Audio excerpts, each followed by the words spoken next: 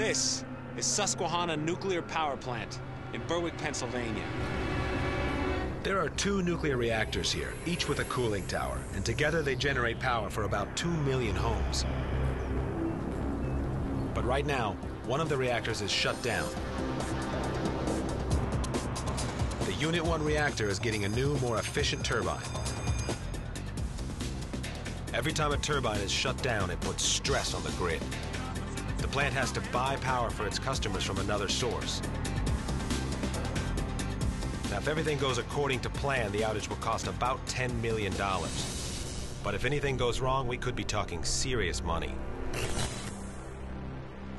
Nuclear power plants, like this one, use the process of nuclear fission to make heat. The heat converts water into steam, and the steam expands into a chain of spinning turbines that turn a generator, and that makes electricity. We're here to fix the high pressure turbine. Getting the old turbine apart is complicated. The outer casing alone tips the scales at 110 tons. Next, the 42 ton inner casing comes apart. Finally, we can get at the old 80 ton rotor. Then the new one goes in. Every lift has to be done with surgical precision. The inner and outer casing finish the job. There's nothing lightweight about taking apart a nuclear power plant turbine. This top piece alone weighs 110 tons, about as much as 50 pickup trucks stacked on top of each other. And it has to come up perfectly level. All right, we've got our four big cables coming down off the hook. They're going to the four corners of the lid, wrapping around the horn. This is actually the seam right there. So this is the top case, this is the bottom case. And when we start to apply force to this lift, we're going to peel it apart right there. And that's where the potential contamination is going to be coming from, right out inside that crack. Getting really close to seeing this thing fly now. Good!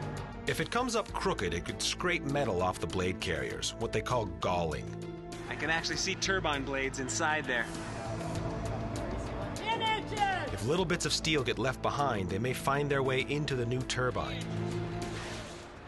It's a relief when the outer casing is clear, There it goes, we're off. but we're not out of the woods yet. This casing has spent the last two years in constant contact with steam coming directly off the radioactive core. Radioactive material could be falling on the floor right now. As it moves across, any area of the ground that it covers becomes a potentially contaminated area. So as it comes towards us, we're all going to have to push away. Contamination is generally easy to clean up as long as it stays on the outside of your body. As soon as the cover passes overhead, they'll get out all these swabs and they swab up the deck underneath it.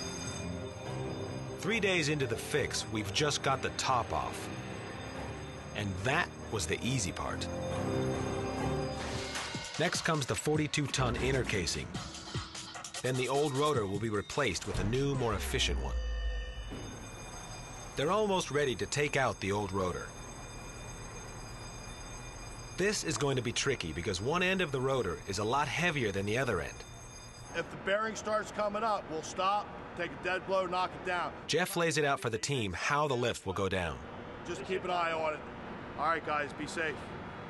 We got a plan. Time to rock and roll. These are also a really tight fit, so they're going to have to lift really slowly in the first couple feet to get it picked out of there.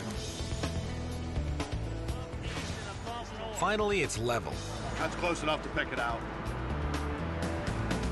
and they wrap it up to trap in any contamination.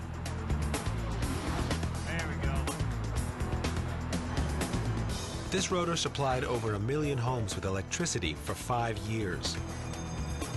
The new rotor taking its place, along with some other upgrades, will get more power from the same amount of nuclear fuel.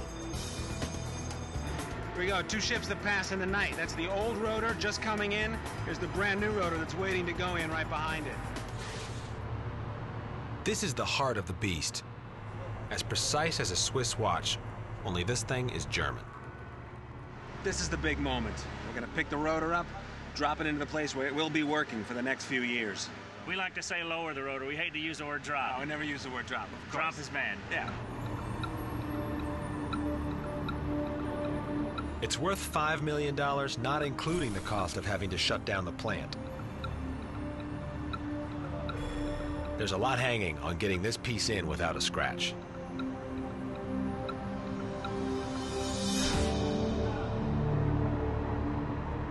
It's a beautiful piece of steel.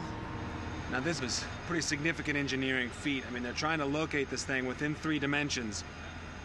It's easy to get it off kilter and scar the sides. And if they scar it, it's got to come out. There's no option for failure here.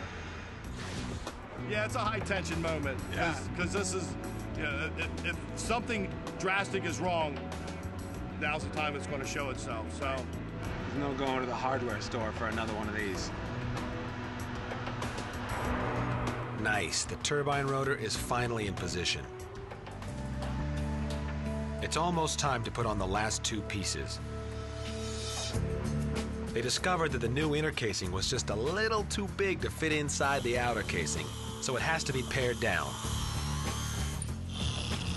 By just a bit.